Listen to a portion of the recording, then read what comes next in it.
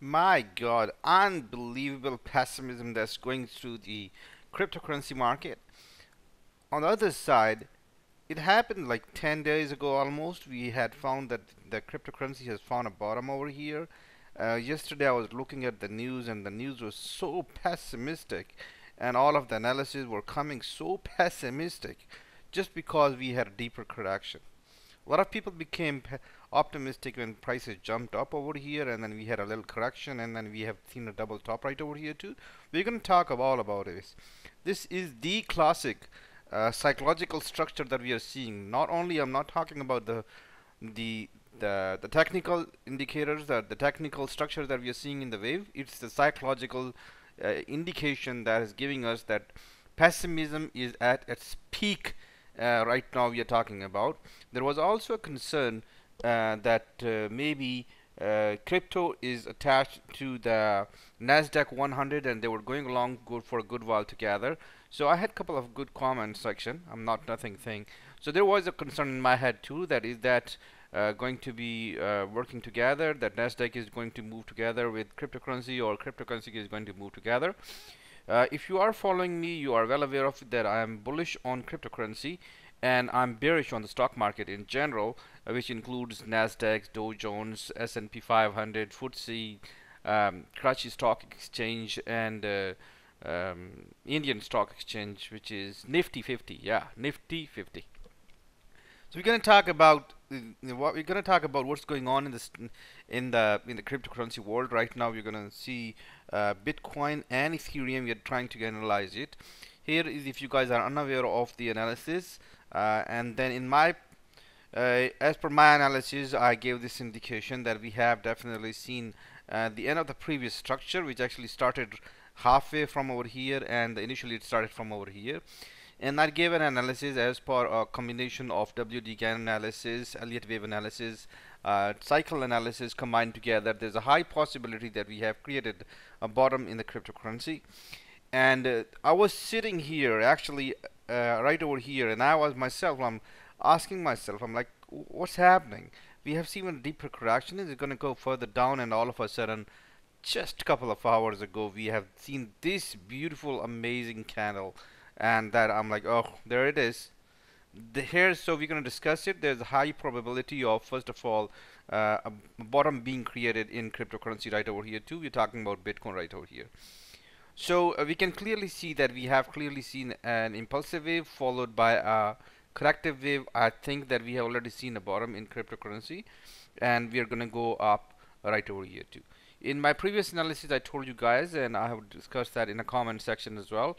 Uh, since we have completed the previous structure what we're going to do is now either we are going to create an X wave of the same degree which uh, by the look of it you guys can tell that at least we are going in that area right over here in this area or if we have completed the correction over here in that case we are actually in the beginning in the very very early stages of the bullish move that we are seeing in the cryptocurrency uh, we still need some indications.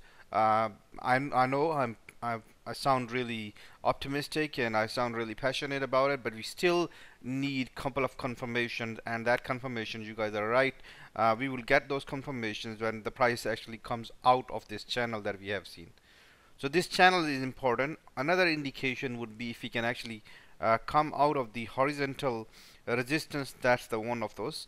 So either we can actually wait for 32,000 to be crossed and the minimal thing that we are seeing right now and it's, it looks in, it looking very promising uh, there's a high chance that we will be able to cross that definitely it looks very um, you know it looks pretty solid that we have an impulsive corrective and this will go further up so uh, my point that I wanted to discuss is that news uh, is working on 1A and it news are um, are written by human beings and they're read by human beings.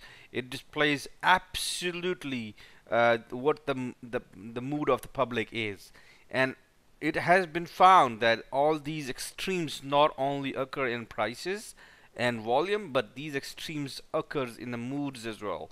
So we are right now at the extreme bottom uh, of uh, moods. Uh, people are talking about the um, there is a major layoffs going to be happening in the cryptocurrency world and also since there is a major major concern and as per my previous analysis I told you guys that I have a, a cycle analysis indicating that we have reached at the very important uh, peak in the in the history of stock market and a major depression is expected.